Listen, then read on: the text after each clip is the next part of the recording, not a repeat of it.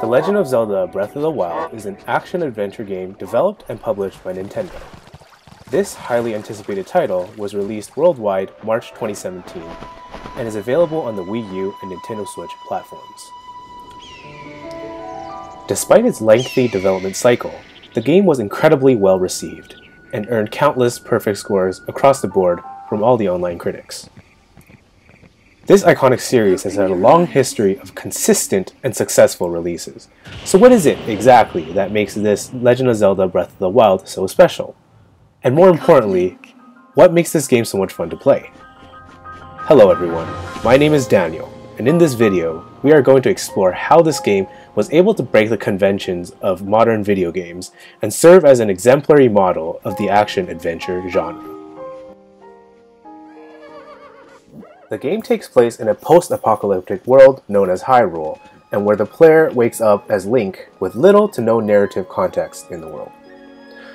Players are first presented with a mesmerizing view of the Great Plateau, which serves as the purpose of a tutorial to teach the players the basic mechanics of the game.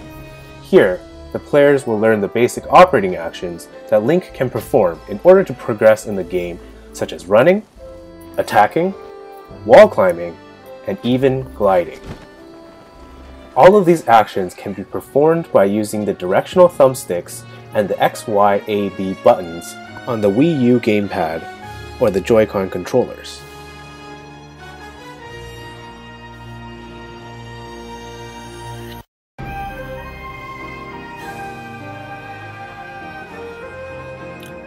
One of the most important mechanics to master in this game is the combat system. During the combat, the player's reflexes and mastery skills are put to the test. For example, if Link jumps out of the way just as the enemy strikes, he will be able to execute multiple attacks in quick succession. This is known as the Flurry Rush, and will be very effective when taking down large boss monsters. The game also features a unique rune system, which are skills that effectively allows Link to manipulate various objects depending on his situation. For example, the Magnesis rune allows Link to pick up metallic objects with his Sheikah Slate and move them around. The Cryonis rune creates frozen pillars anywhere there is water and serves as platforms that Link can walk on.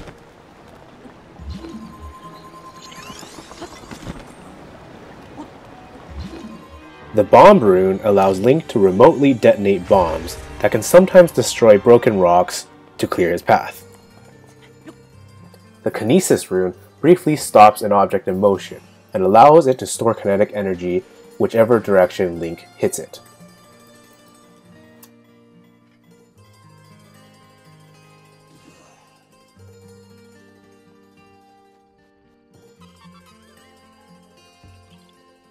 Although the amount of operations that Link can perform may seem overwhelming, each skill is introduced to the player one at a time, and gets progressively more challenging as the player gains more experience. This approach is known as emerging complexity, which strikes a balanced difficulty to keep the player in a flow state.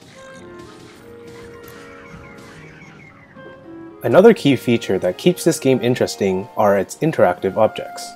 What this means is that these objects have dynamic attributes and can interact with one another to change states. For example, if I have a fire arrow and a pile of wood, I can shoot it to create a fireplace to bake some apples or pass the time.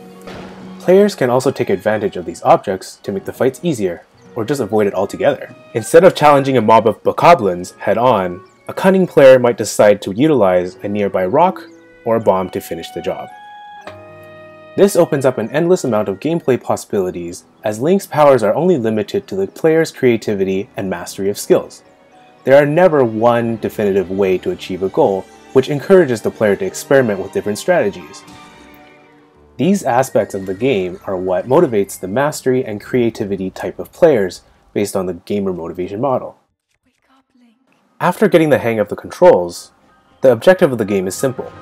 Defeat Calamity Ganon and save Hyrule.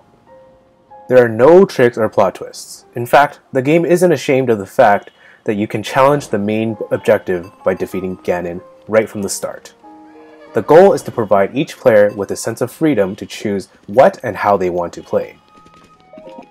To reinforce this concept of player freedom, The game also features an embedded narrative that the player can experience through cutscenes and flashbacks. This gives players the option to read the narrative at their own pace. The narrative also defines the setting of this game to help make the gameplay more convincing.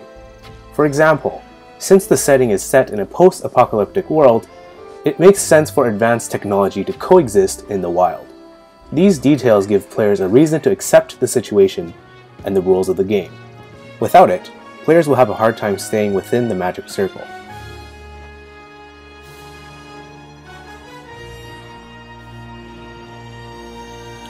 Overall, The Legend of Zelda exhibits many of the 14 forms of fun such as problem solving, thrill of danger, creation, power, and discovery.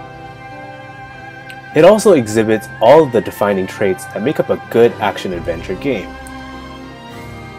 And despite the current shifts in the industry to move towards more profitable multiplayer games, The Legend of Zelda Breath of the Wild remains true to itself and its fans, while still breaking the conventions to offer something new. That is how The Legend of Zelda Breath of the Wild solidified itself as the exemplary model of its genre.